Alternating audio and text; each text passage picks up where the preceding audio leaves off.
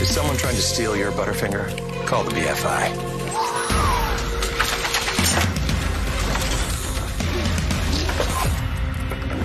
Linda? No one lays a finger on your Butterfinger.